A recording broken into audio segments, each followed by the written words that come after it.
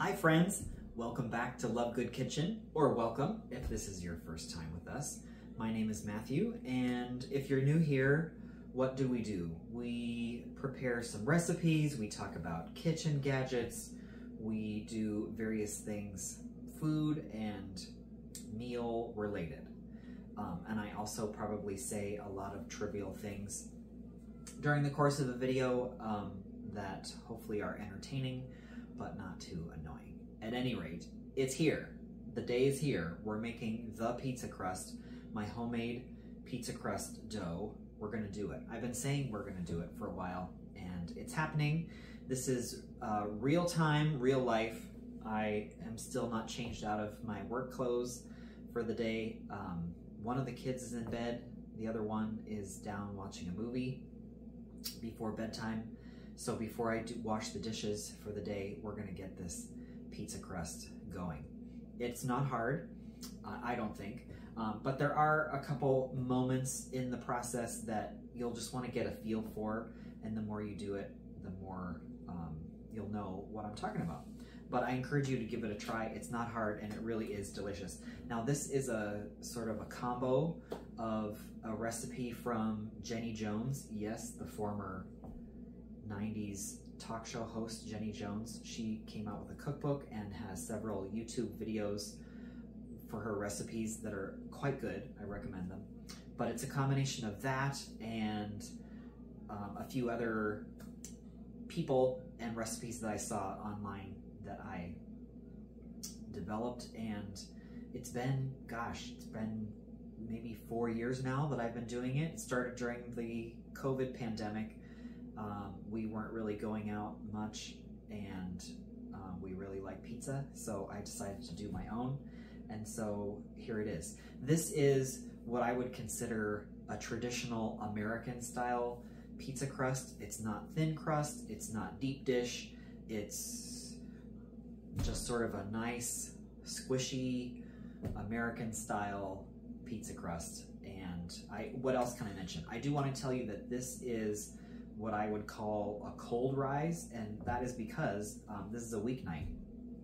I don't have time when I get home from work to be waiting for the dough to rise and do all this stuff um, because I got a young family and we got to get dinner on the table. So this version, I prepare it the night before. I pop it in the refrigerator and it will it will rise in the refrigerator and then um, I take it out when I get home from work and we prepare the pizza and there you go. It is not my preferred method because it's not quite as poofy as it will be if you let it rise in a warm place, but you need more time for that, at least an hour, if not an hour and a half. And then once you um, get the, the pizza dough out, uh, patted out or rolled out into whatever shape you're doing, then ideally you need another 30 minutes for it to rise there too. So that's my preferred method, special occasions, or if we do a pizza on the weekend, then I'll do that. Otherwise, we do the cold rise method. Um, so anyway, here we go. We need three cups of flour. This is bread flour, and um, you don't have to use bread flour. I have used all-purpose flour and it's turned out fine, although it won't be quite as, I don't know, what's a good word for it when you use bread flour? It's just a little more, um, I don't know that delicate is the right word, but it's just creates a nice dough. How about that? There's two cups, we need three cups I'm just tumbling it into my one cup measure here, leveling it off. And there we go. Also, you need one package. This is a 0.25 ounce envelope of active dry yeast. We're gonna dump the whole thing in there. I guess it would help if I actually cut the package open try that. Here. Get these out of the way. Oh, or throw it in the dough. That works too. I did wash my hands before I started. So if we got any cleanliness trolls out there, I did. Um, then we need one and a half teaspoons of sugar. There's one. There's a half. And then we need about a half teaspoon of salt. I'm using kosher salt, but I have used table salt before or whatever salt you have um, would be fine. Those are our dry ingredients. I'm just gonna whisk it for a second here to get the yeast and the salt and sugar a little bit more evenly distributed through that dough mixture. I think that's about good. Also, you may notice I'm using my red vintage Cinderella style Pyrex mixing bowl. This is 95% of the time. This is the bowl that I always do my pizza dough in. It's just what I do. I have used other bowls and it's turned out fine. This is just the one that I always go to. It's my pizza bowl. Wednesday nights are pizza nights um, at our house, so we do it all the time. Okay, so these are our dry ingredients. Next, we need a cup and a third of very warm, I use tap water, um, and what I usually do is let the tap run as hot as I can get it. Um, so I'm gonna do that. Okay, there we go. That's a cup and a third. I know some recipes, some cooks say that the water needs to be about 115 degrees.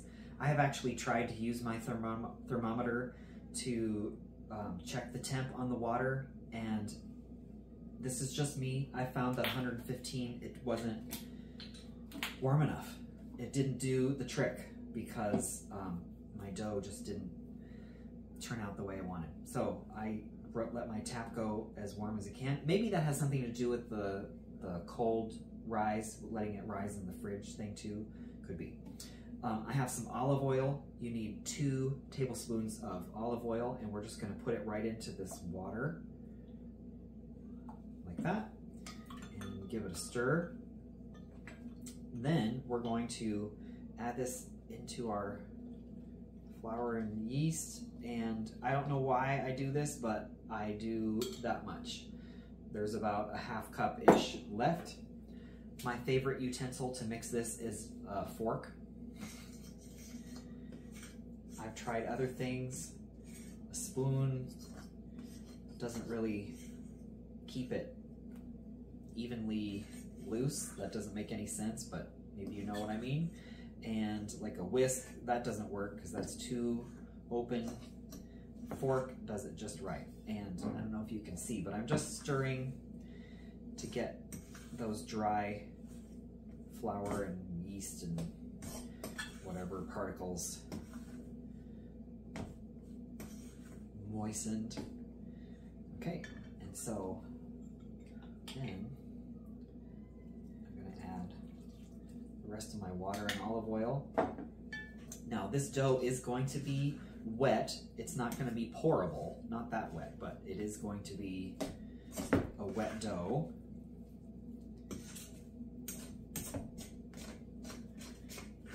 Sure there are no bits hiding on the bottom. Okay. So it it is pretty wet. There. Now in here I have some all-purpose flour and that's what I use to knead the dough because we are going to knead it a little bit. We're not going to go crazy with it.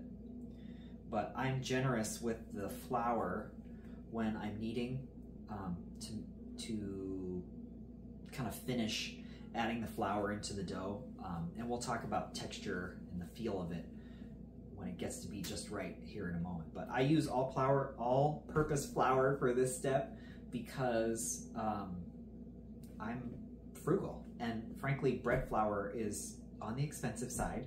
So that's just what I do. You could use certainly use the bread flour for this part. Anyway, okay, so let's get this onto our floured surface. Now we don't want a ton of dough stuck to the edge of the bowl. You'll know why here in a minute. Get this off my hand. Get this off the fork. And then to start us off, we're gonna take a very generous scoopy of flour put that on like that. Don't worry, it seems crazy, but it's gonna work out. So we just kind of, I roll it around to get it coated and started. And then this is how I knead my pizza dough. I kind of fold it up and in and then I smush it with my hands over and over. I was not trained at the Culinary Institute. This may not be your preferred way to knead dough, but that's just how I do. So we're gonna keep going and the remaining flour that's down here. Hi, my name is Ramsey, and I'm helping Daddy and you, and you. Ramsey help sighting. Night night, honey. I love you. Hi. Sleep tight. Okay. Um, so we keep going, and this the flour that is remaining. It's a little more than a dusting, but on the side, I keep as I feel with my fingers a section that might be sticky. Then that's when I know I need to bring a little more of that flour in. But I keep folding and squishing, folding and squishing. I'm not using intense pressure, but I am pushing down. That in. Got a piece hanging on there.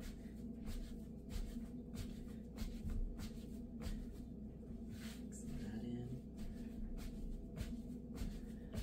Okay, it's already looking good. I haven't been counting. I don't know how many times I've folded and pushed. But I don't know, it's a couple minutes. I think my original recipe that I put together said like three or four minutes, or maybe it was three to five minutes of kneading. I don't think I do that much. I just go until fold and smush, press, squish. I just go until it starts to feel, and I know we've heard this before, and you're at first you're like, what? Until it feels smooth and elastic. But that really is the case. Um, it's a texture thing. It's not sticking to my hands anymore. And um, it's not sticky to my hands and it just feels a little more even. The color is more even. We don't have any white spots or any spots that are. And then I always do this at the end. I don't know what this is. I turn it, turn it, turn it, turn it. Then I give it a push and I turn, turn, turn. And that's about it. We've got a lovely dough ball. Okay, I'm gonna rinse my hands. I'll be right back. Okay, so we did that. Now in the same bowl that I used to mix up the dough, I'm gonna take some non-stick cooking spray and you're gonna give it a good coat. You don't have to worry about getting it all the way up to the, the lip, the rim, the edge of your bowl, but at least three quarters of the way up because the dough is gonna rise a little bit. You don't want it to stick. Then you take your dough ball, we plop it in, and then all we do is grab our plastic wrap. Let me get that.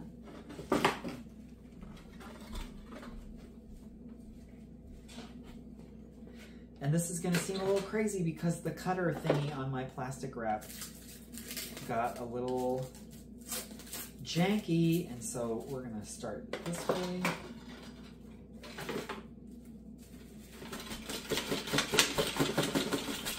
About good. That wasn't too bad. And then you're just gonna cover your dough or the top of the bowl like this with your plastic wrap. It doesn't have to be hermetically sealed, however you do want it to be.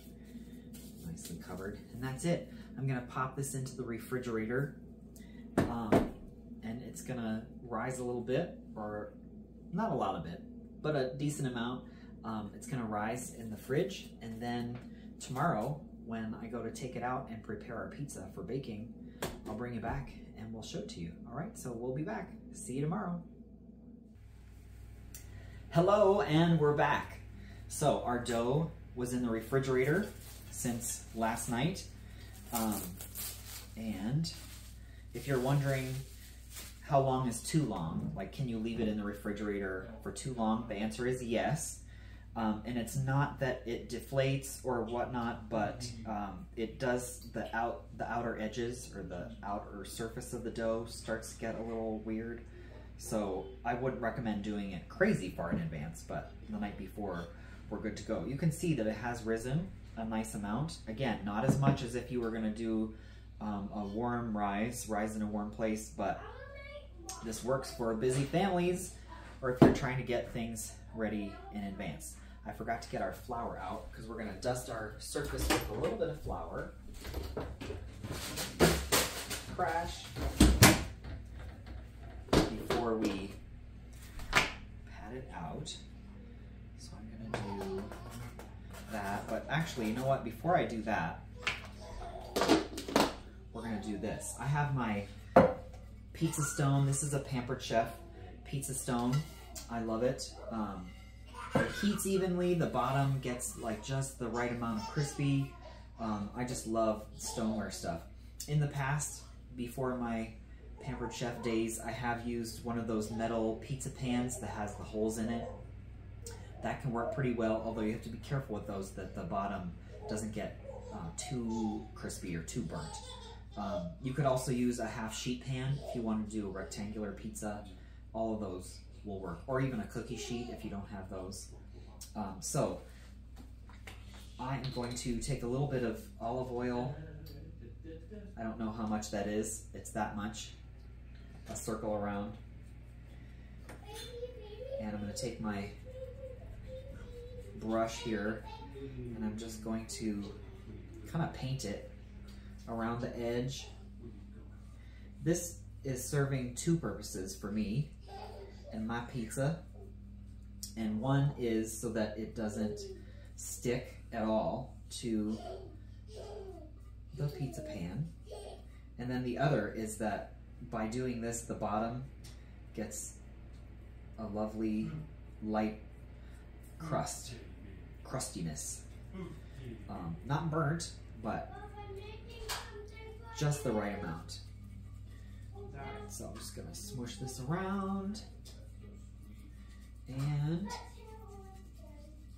that about does it. Okay. Here. I also forgot to mention um, in the first part of this video that um, this is not, I'm not claiming in any way that this is authentic Italian pizza. So please, I don't need to hear feedback from your Sicilian great grandmother that this is not the technique. I get it. I'm sure it's not, but this is the pizza recipe that I and my family we really like. So, um, you know, even if you don't use the whole recipe, maybe there are um, parts of the recipe or the technique or whatever that are going to work for your pizza making. So, um, I'm just going to loosen it a little bit from the side of the bowl. Now remember, I didn't spray it, so it doesn't really have trouble coming out there. So we've got our blob, and I closed my flour, but I am just a little bit gonna just sprinkle tad bit on there. Now, I don't like to use a rolling pin for this part. Um, I have tried using the rolling pin before, and I find it easier just to sort of do this cat paw patty pat business instead of rolling it. And I kind of go out from the center, but I like it because um, I can feel the thickness under my fingers of the dough. So I can feel if there, if a certain part is a little thicker or thinner, I can adjust it. And I just pat, pat, pat, pat, pat, and kind of spread it out we this is a 15 inch pizza pan and I have a measuring tape here because that's just how I am. We are aiming to get this circle of dough to 14 inches because I found that that is just the right amount. It'll stretch a little bit when we transfer it onto the pan and so that's just the right amount so that it fits perfectly on our pizza pan. You certainly wouldn't have to measure it. That's just what I like to do because I'm kind of OCD with stuff like that. Okay, we're getting there. Really doesn't take long. This is just about there. I will use the measuring tape here in a second. But I'm just doing the patty pat, pat, pat, pat, pat, pat. And I can feel with my hands it's pretty even. We're, we're in a good place here.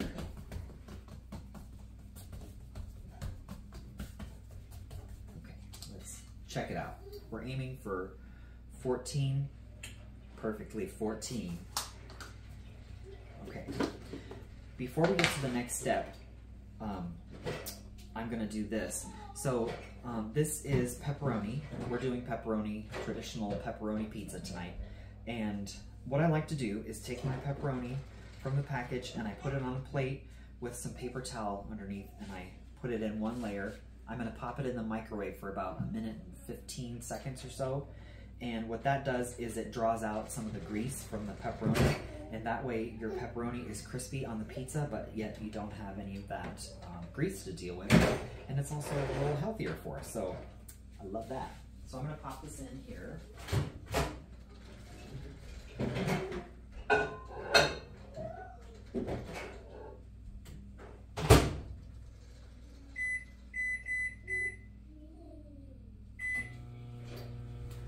Okay, and while that's going, I'm gonna fold this up to transfer it onto our pan.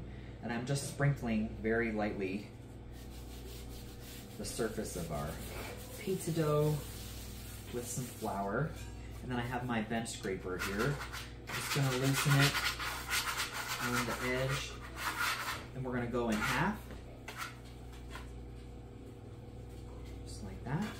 And then a little sprinkle and it's almost like an immeasurable amount. Just a very light sprinkle, but that way it doesn't stick. I know from experience in the past I have not sprinkled some flour and then I wasn't able to get my pizza dough unstuck together. Okay, so we just transfer it onto here and then we unfold it. And then I'm just gonna, again, use my hands kind of pat it out to fit the pizza pan.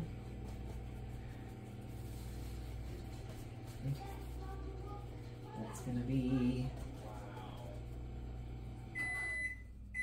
just right.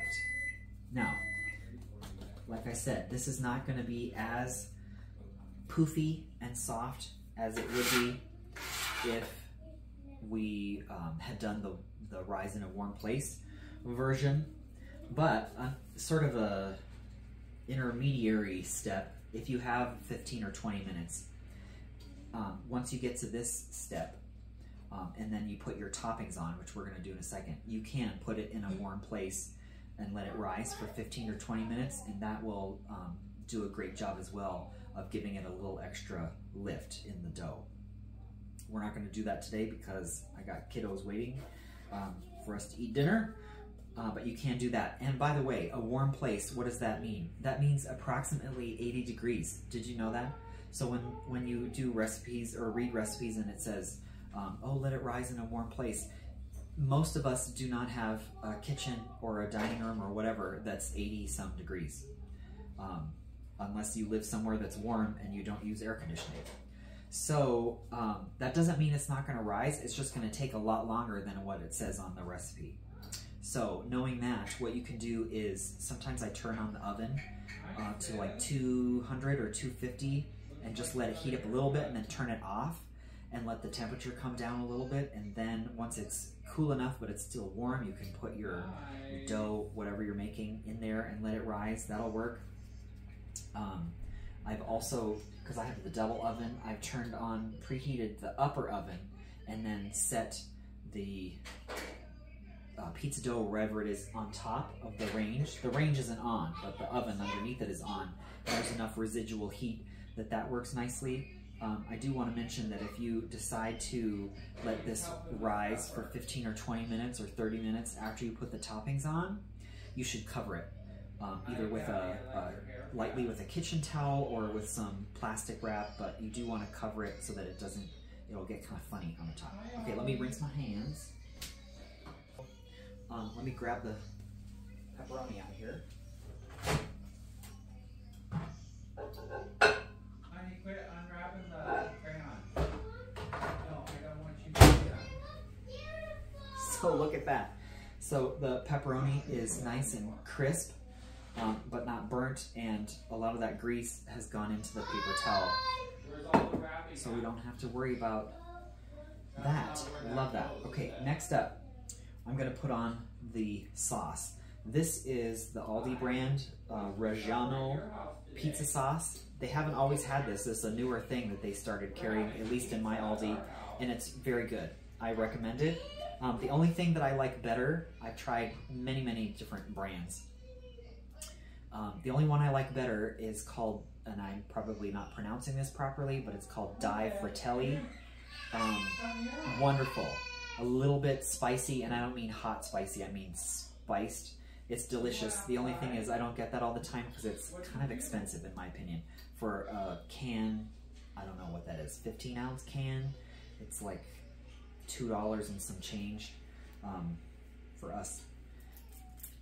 That's a lot. But once in a while, I do get it.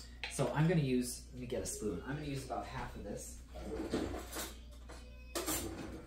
on this pizza, and I would, in a general way of speaking, I would consider this a large pizza, and you're gonna get What's for supper? 12 slices, sort of medium size, a few less if you're gonna do large pieces, and of course, We're having pizza. um, I'm referring to the round version. If you're doing a rectangular pizza, then it's going to be different, especially depending on how big you cut your pieces. But just to give you kind of a point of reference, yes, you can put too much sauce. Um, I know from experience. I I don't like my pizza to be too dry, so I like there to be just a little bit more. I don't like there to be like not enough sauce, but you can put too much. If it's just laden, is that the right word? With sauce, then um, it gets a little soggy even when you're after you bake it. So I don't recommend you do that. Set that aside. Got that on there. Um, next up, I'm to put a little bit of Italian seasoning, maybe a little garlic powder.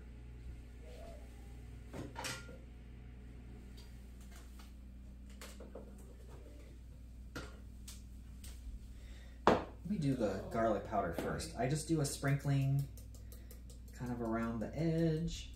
I don't know why, this is just how I do it. And then a little bit across the center like that. And then I take my Italian seasoning, sprinkle, sprinkle, sprinkle. I don't know, this is probably like somewhere between one and two teaspoons. There we go. And then I'm going to place the pepperoni on. And I always start from the outside. Again, I don't know why, that's just how I do it. It's good. And then I kind of go in the spaces ish. Spaces, spaces, spaces, spaces. And then I keep going in the middle. I hope this is in the frame of the camera. Can you see? And then I just take the remaining ones and I kind of fill them in wherever. That looks good to me. Okay. Um, last but not least, I'm going to take some Parmesan, grated Parmesan cheese.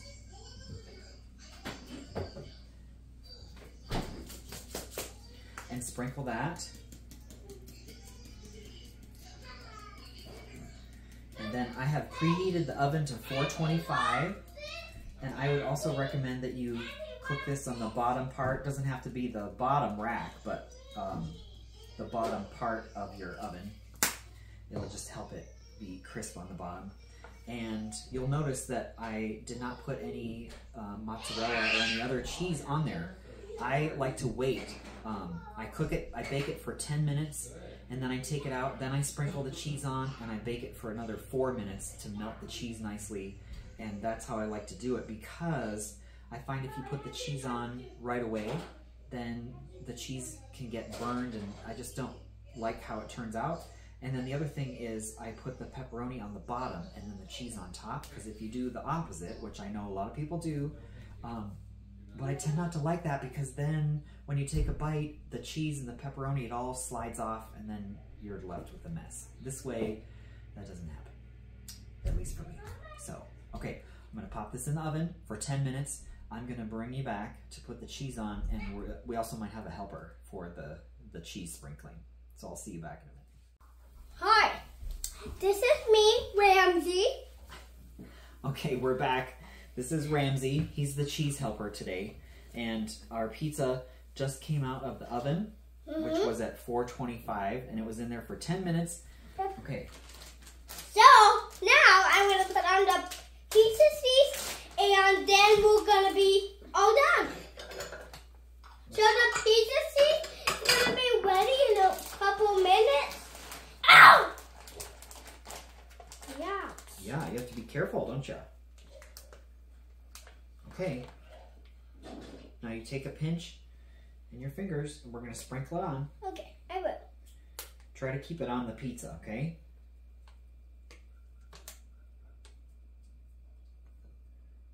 So, how was your day? How was their day? Yeah. Ramsey wants to know how your day was. You can comment below if you would like to let him know.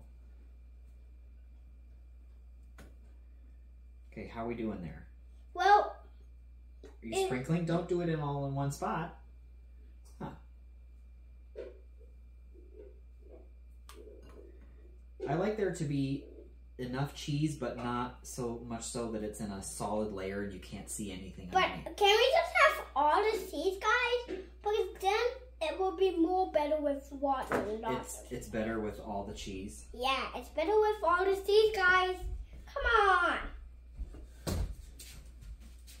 Okay, That. But can we do these? it- it's all gone. Yay. We did it. All right, good job. Thanks for your help, Ramsey. We're gonna put it back into our oven Yep. for four minutes. Yep. And then we'll bring you back. Okay, so here we are. It's out of the oven. It's all done. It took about four minutes for the baking to finish and the cheese to get melty. So all that's left is to slice it up and enjoy. So give it a try. Let me know what you think. The recipe will be posted in the description box down below. Um, leave me a comment if you have some thoughts on this. But it's my family's favorite, and yeah, we like it. Wednesday nights are pizza night for us. So um, let me know. Do you have a pizza night, and what do you like to do? We do different kinds, but tonight we did the traditional. Uh, I mean, different types of toppings. But tonight we did the good old pepperoni. So give this a thumbs up if you enjoyed chatting and putting this recipe together with me. Subscribe if you haven't already. It helps out my channel, and that way you'll also be notified when we post a new video. So until next time, thanks, and I'll see you in the next video. Bye.